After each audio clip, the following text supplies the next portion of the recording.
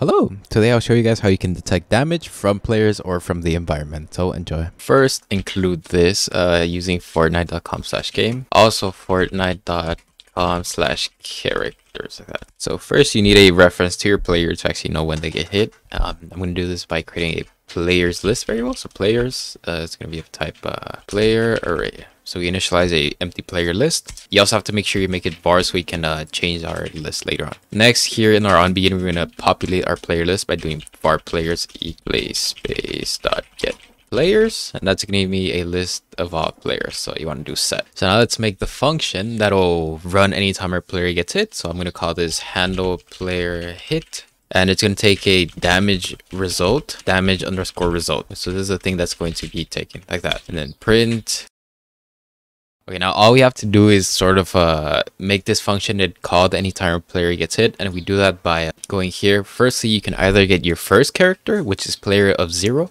or you can do this for every player. I'm going to do this for every player. So I'm going to do for player in players, basically looping over the entire player list. Uh, we're going to get our fort character. So fort character colon equals player dot get fort character like that. So for every player, we get their fort character. And for every fort character, we call the damaged event like that.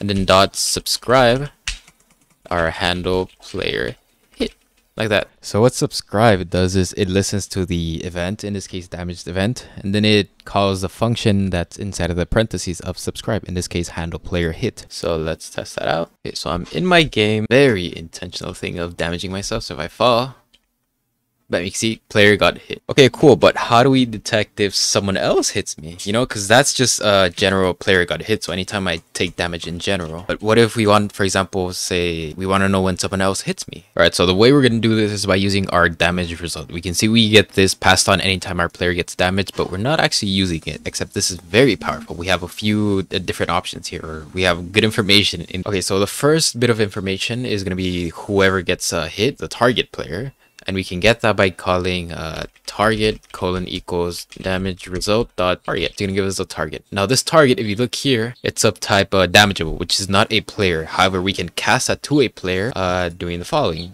So we can do if, let's see, fort character uh, hit colon equals, we're gonna do fort underscore character of target. So what this does is something what's known as casting, which means we turn something into some other thing. That's just basically it. So we convert uh, this damageable target into a fort character, which we then assign to this fort character who was hit. So that's how you can get your fort character and you can do whatever you want with your target. Now the next thing we can get the amount by doing amount colon equals damage result dot amount pretty straightforward. That's going to be the amount. So uh, if, if we can get our fort character. So actually, I'm going to print my amount here. So I'm just going to do print uh, was hit for amount. then the next thing that's uh, useful. Okay, now how we actually get the player who hit uh, you know, us or the target player is by getting the game action instigator. And we can get that by doing if instigator colon equals damage result dot inst instigator. Now we get an error because we have to add this question mark at the end. And that's because this damage instigator is what's called an optional. All right, so now an optional, you can think of it as sort of a uh, mystery box. Inside of the mystery box, you can either have nothing or you can have something. In this case, it's a game underscore action underscore instigator. Now, uh, since of course this mystery box is closed, we don't know what that is we want to actually get whatever is inside that mystery box. In this case, the actual game action instigator. To actually open uh, the mystery box, we have to place this question mark. Otherwise, that's like giving a mystery box to someone, but they just get the actual box. They don't get the contents inside. I hope that made sense, but um, that's kind of what optionals are. Anyway, now we get the instigator, but that's still not a player. Uh, we can convert that to a player by doing agent colon equals instigator dot get instigator agent. Now we can then convert that to a fort character by doing fort character instigator. I'm just going to call it colon equals agent dot get fort character. And with that, we can do whatever we want with uh, the actual player who damaged us. So we can do fort character instigator dot damage.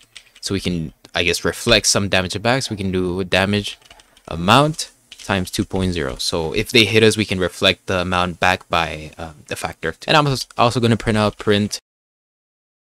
So let's test that out. Let's see if that works. All right, I'm into my game. I have my second account. If I um, go up here and, uh, whoops, I foolishly jump off. Yeah, I, I get hit by them at 35 point whatever. Now if someone else hits me, let's say for this, oh you can see they took twice the damage back, which uh, was lethal.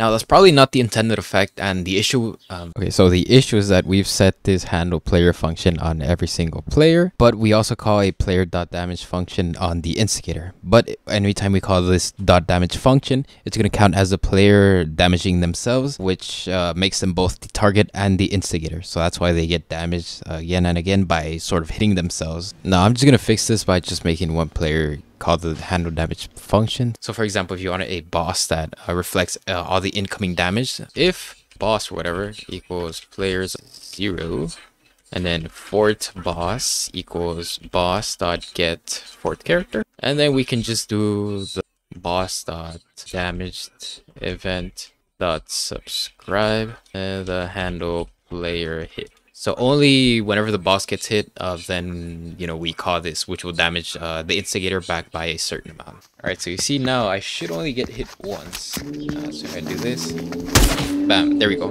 Uh, and as you can see, for example, I hit this player, you can see they, they don't have the damaged event, so I don't get... So yeah, uh, I hope this was helpful. And yeah, where am I?